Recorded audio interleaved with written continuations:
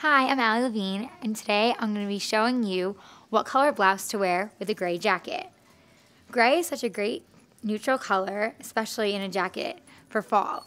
If you want to spice it up and add a vibrant color, you can add a nice teal, such as this, a bright purple, bright yellow. Have some fun with it, because gray is neutral, so you can do any bright color underneath. If you want to keep it classic, you can add a white blouse, black blouse, anything simple to put with your gray jacket. Gray, like I said, is so neutral, so you can just add about any color to it. And it's an easy day look that you can wear running around, having to go do errands, run around and do shopping. You can wear a nice, vibrant color or a classic neutral like a white or black under your gray jacket.